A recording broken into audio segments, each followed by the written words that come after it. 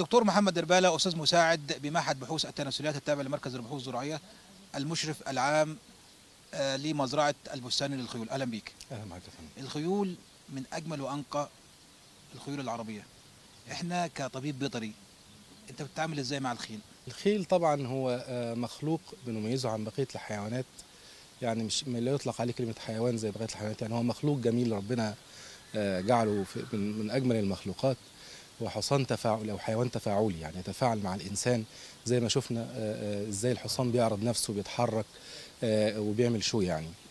ال- ال- الخيل بنتعامل معها من الناحية الطبية يعني في كحيوان منتج أو يعني كمخلوق منتج بالذات في الخيول العربية بنهتم بالإنتاج بتاعها السنوي من المهره أو المهرة اللي بتجينا كل سنة من الولادة.